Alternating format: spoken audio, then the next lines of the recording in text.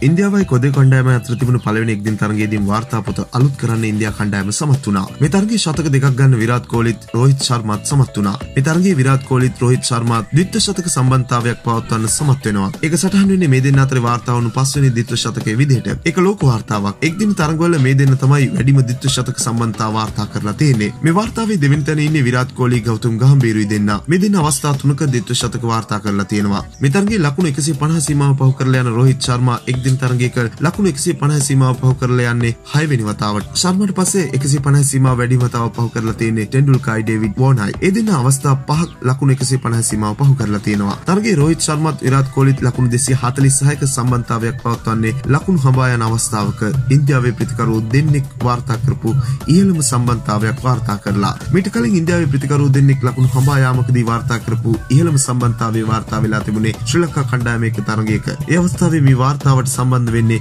විරාට් කෝලිත් ගෞතම් ගම්බීරුත්. ඒ අවස්ථාවේ මේ දෙන්න ලකුණු 224ක සම්බන්ධතාවයක් පවත්වන්න සමත් වෙනවා. මෙවැනි වීඩියෝ දිනපතා බලන්න අපත් සමග එකතු වන්න. ඔබ තාමත් අපේ channel එක subscribe කරලා නැත්නම් දැන්ම අපිව subscribe කරන්නත් ක්‍රිකට් වලට කැමති ඔබේ යාළුවෙකුට බලන්න මේ වීඩියෝ එක share කරන්නත් අමතක කරන්න එපා. ක්‍රිකට් පිටියේ නම් දෙස් අපිරි තවත් අලුත් වීඩියෝකින් හමුවනතුරු ක්‍රිකට් ලංකාවෙතින් ඔයාට සුබ දවසක්.